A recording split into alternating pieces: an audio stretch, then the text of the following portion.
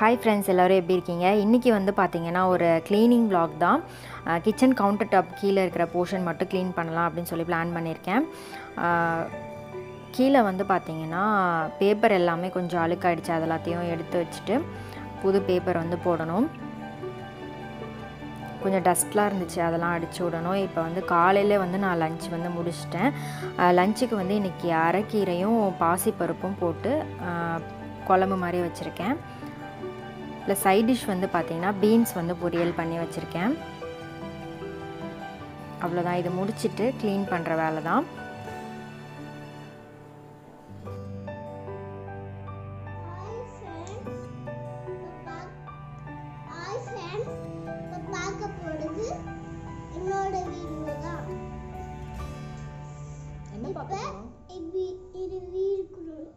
வீடுக்குள்ள போலாமா?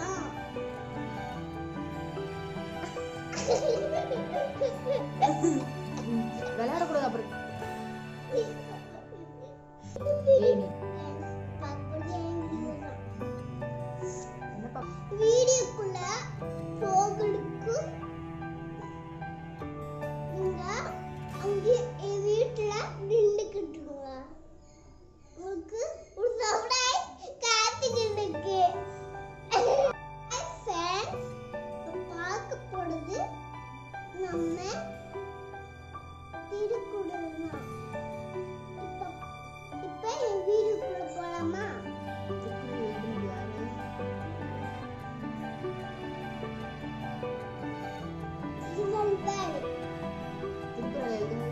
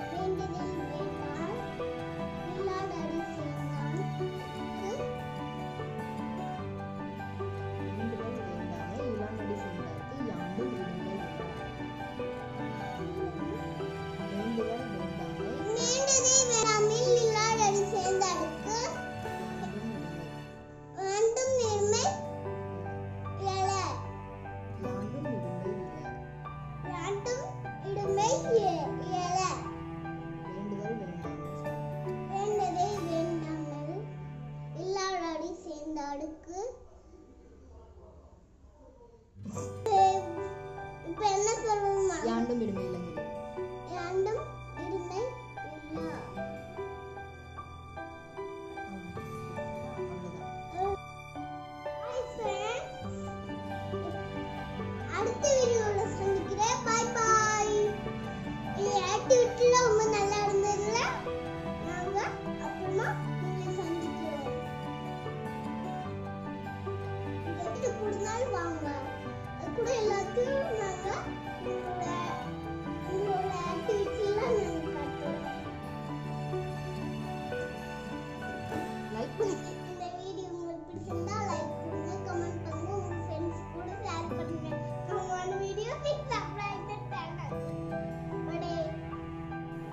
க்ளீன் பண்ணுறதுக்கு முன்னாடி ஃபஸ்ட்டு கீழே இருக்கிற அந்த கவுண்டர் டாப் கீழே இருக்கிற எல்லாத்தையும் பாத்திரத்தை எல்லாத்தையும் நான் எடுத்து வச்சுட்டேன். பேப்பர் வந்து ஆல்ரெடி நம்ம போட்டிருக்கிறோம்ல அந்த பேப்பர் மேலேயே டஸ்ட்லாம் அடிச்சு விட்டோம் அப்படின்னா டஸ்ட் அந்த பேப்பர்லேயே டஸ்ட் வந்து கலெக்ட் ஆயிரும். அதை அப்படியே நம்ம சுருட்டி ஒரு குப்பையில் வந்து போட்டுடலாம் நான் அது மாதிரி தான் பண்ணுவேன் டஸ்ட்லாம் அடிச்சு விட்டுட்டுருக்கேன் அந்த பேப்பர்லேயே வந்து கலெக்ட் பண்ணி அதை அப்படியே நம்ம டிஸ்போஸ் பண்ணிடலாம். பாட் பாட்டாக பண்ணும்போது நமக்கும் கொஞ்சம் ஈஸியாக இருக்கும். டைமும் நமக்கு கிடைக்கும். ஃபுல்லாக ஃபுல் டே வந்து க்ளீன் பண்ணிகிட்ருக்க மாதிரியே இருக்கும். நம்ம ஃபுல் கிச்சன் வந்து க்ளீன் பண்ணும்போது. அதனால தான் இப்போ கொஞ்சம் கொஞ்சமாக நம்ம கிச்சனில் வந்து பாட் பாட்டாக பிரிச்சிடலாம் அப்படின்னு சொல்லி கொஞ்சம் கொஞ்சமாக க்ளீன் பண்ணிகிட்ருக்கேன் ஸோ பேப்பர் எல்லாமே போட்டாச்சு. டஸ்டெல்லாம் அடித்து விட்டுட்டு இப்போ வந்து அங்கங்கே கொஞ்சம் ஸ்ப்ரே வந்து அடித்து விட்டுட்ருக்கேன்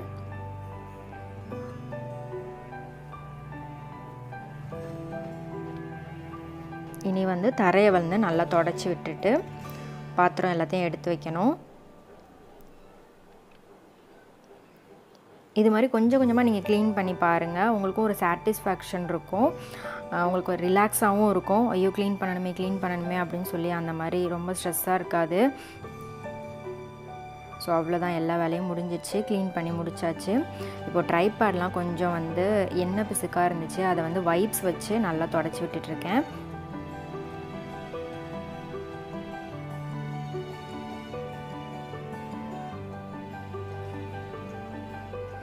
ஸோ முடிச்சுட்டு மாதுளம்பழம் ஜூஸ் வந்து போட்டேன். அதை வந்து குடிச்சிட்டு கொஞ்சம் ரெஃப்ரெஷ் ஆகிடலாம்